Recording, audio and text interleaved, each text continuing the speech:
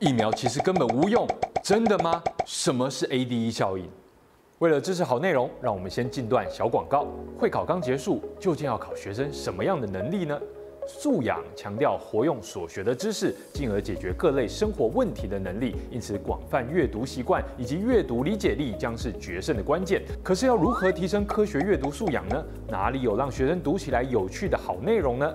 家长、学生以及老师的需求，泛科学收到了。科学生线上阅读平台由泛科学、南一书局以及科学月刊协力打造，适合小学高年级到国中的科普阅读素材，搭配学校进度延伸学习，阅读后立即检测理解程度，精准掌握关键资讯的应考能力。欢迎点开资讯栏了解更多。最近常听到一个说法，完全接种疫苗的人一样会感染 Omicron。并且把这个现象称为免疫学上很重要的发现，也就是抗体依赖性增强效应 （ADE）。事实上，这个之前我们有谈过，接种疫苗的人一样会感染 Omicron。这其实该被称为免疫逃逸，而不是有些人担心的 ADE 效应。那什么是 ADE 效应呢？ADE 这三个字分别代表 antibody dependent。enhancement 的缩写，中文翻译为抗体依赖增强作用，指的是我们体内产生的部分抗体帮助了病毒作为入侵细胞的工具。可是我们打疫苗产生抗体，明明是为了保护细胞免受病毒感染啊，为什么这些抗体却会帮助病毒感染细胞呢？这是怎么回事？You lie to me。这时候我们必须要先来讲讲抗体长什么样子。抗体是一个 Y 型结构，Y 的前方两支为 Fab 区域，它的端部负责辨识和结合病毒。这个区域会随着不同的病原种类而有所改变，因此也是对应抗原的重要区域。而 Y 的下方称之为 Fc 区域，这是抗体的主干。由于 Fc 不用与病毒结合，所以通常 Fc 在抗体上是一段不太变化的区域。而打疫苗或是自然感染病毒时，我们身体都会产生抗体，但是真正能够抵抗病毒感染的抗体，我们称为中和抗体，也就是在可变的 Fab 上面能够有效与病毒紧紧结合的区域，能中和病毒感染，帮助清除病毒。但有少数抗体的 Fab 却无法完全抓紧病毒，或是抓在不对的地方，这些抗体被称为非中和抗体。当这些抗体与病毒结合的时候，称为病毒抗体免疫复合物。这个复合物就会像图上显示的一样，Fab 连接着病毒的表面，向外露出 Fc，而这时免疫细胞上面的 Fc 受体就会去抓住这个复合体，透过胞吞作用形成一个泡泡，将病毒吞入细胞中。当病毒进入到细胞之后，就会脱离这个泡泡，然后顺利感染细胞。这个过程是非中和抗体帮助病毒感染细胞的现象，我们就称为抗体依赖增强作用。但绝大多数的病原感染或是注射疫苗后产生的抗体，其实不会产生 ADE 效应。但在极少数的病原感染或疫苗测试中有发现 ADE 效应，比如不同型别的登革热前后感染时，体内可能会发生 ADE 效应，导致重症。另外，在 SARS、麻疹和呼吸道融合病毒的疫苗开发过程中，也有观察到类似的现象。既然在 SARS 疫苗开发的过程发现过 ADE 效应，那么你可能会问：新冠病毒既然跟 SARS 是近亲，新冠疫苗会不会出现 ADE 效应呢？我们前面谈到 ADE 效应，主要是因为非中和抗体的产生。那么是不是能够避免产生非中和抗体呢？其实概念很简单，因为疫苗作用的概念就是将病毒本身或是病毒的一部分取出来，注射到身体内产生免疫力。那么我们只要取出可以中和病毒又不会产生 ADE 效应的部分出来制作疫苗，不就可以了吗？对于新冠病毒而言，与细胞结合的棘状蛋白是个非常好的中和区域。这个区域可以阻止病毒感染细胞。而我们之前谈过，棘状蛋白上有 S1 跟 S2 两个功能区块，而 S1 上有与细胞受体连接的区域，这被称为受体结合区。如果忘记了，可以看这里复习一下。科学家透过基因工程技术，只制作受体结合区的蛋白质。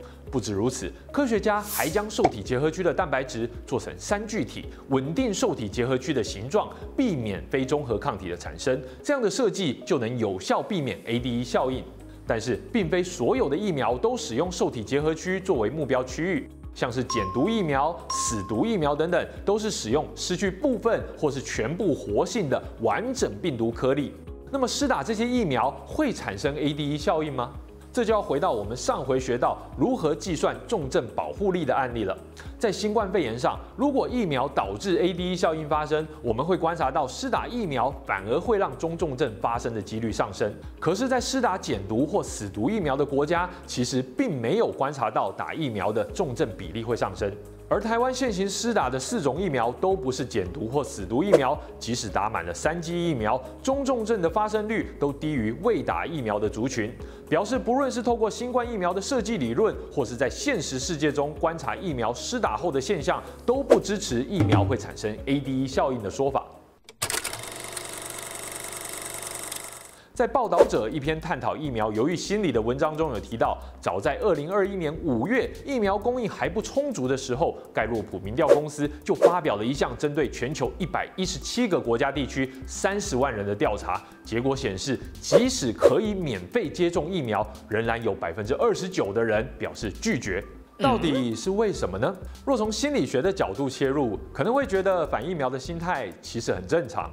人类是种矛盾的动物，在做决策时会受到悲观偏差和乐观偏差两种倾向的影响。通常，悲观偏差会影响你对于无法控制的事物或风险的评估，这时候负面的讯息对我们心理状态的影响会更大。而乐观偏差则是人对自己的侥幸心理，认为他人遭遇不幸事件的几率比自己来得高。所以综合两种倾向，我们就很可能会更担心疫苗带来的不良反应，又同时认为自己没那么衰，不会确诊吧？这让许多人得出一个矛盾的结论：认为打疫苗有危险，又同时相信自己很安全。再来，心理学上的确认偏误也让我们倾向收集那些符合自己世界观的资讯，而轻视、忽略相反的意见。人啊，要马上改变意识形态倾向是很困难的，比起接受新资讯，继续保存既有的信念来得轻松得多。这时候你还会找更多证据来支持自己的观点。想想看，如果你已经认为打疫苗有很大的风险，那么上网搜寻打疫苗会有危险吗？会出现什么结果呢？很可能你看到的全都是和你先入为主的观点相符的讯息，让你对这些资讯深信不疑。身在疫情当中，媒体着重报道少数的重症、死亡案例，这会让我们忽略多数接种疫苗或染疫后的正常状况，造成心理对疫苗的恐惧感加深。或是当身边的人接种疫苗之后有了不良反应，即使明明只有十万分之一的发生率，也会因为当事人与自己的距离近，使得感受放大，认为发生率比客观数据更高。所以说，出现反疫苗或犹豫的心理都很正常。换做其他议题，我们都可能是较少数的反对者。你是否也有反对打疫苗的朋友或家人呢？我们其实应该同理彼此的想法差异，尊重个人的选择。打疫苗有不良反应的风险，不打疫苗则有染疫重症的可能，这就交给各位自己决定了。好的，以上就是本集的内容。记得订阅偏赛范科学频道，开启小铃铛，加入我们的频道会员，锁定更多精彩的科学新知、科学议题。我们下次再见。